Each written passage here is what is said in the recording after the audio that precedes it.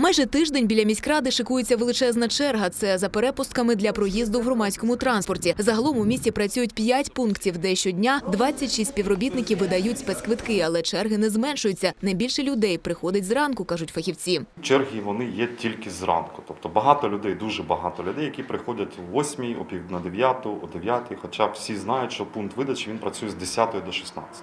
Тому станом на 10, 10 вже є там 60-70 людей в цій черзі.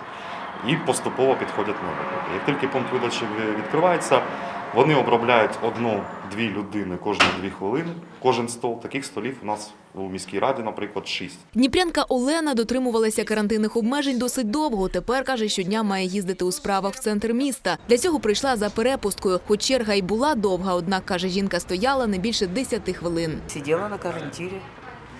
А теперь, когда уже появилась возможность, значит, надо брать пропуск. Да очень быстро, очень. Ну вы же вот там подошли, мы там стояли, мы уже на ступеньках.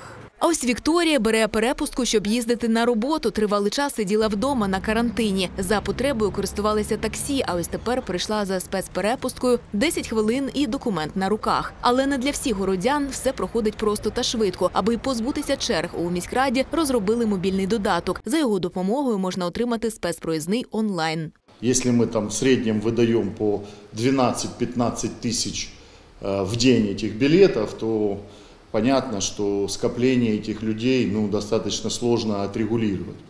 Потому городской совет э, в достаточно э, короткие сроки, то есть я бы сказал рекордные сроки, разработали приложение, Отже, тепер, щоб отримати спецквиток для проїзду в громадському транспорті, йти до пунктів видачі не обов'язково. Усе можна зробити онлайн. Оформити перепустку можна через мобільний додаток у Google Play для смартфонів або на сайті dniprorada.gov.ua. Незабаром ця послуга стане доступною через App Store.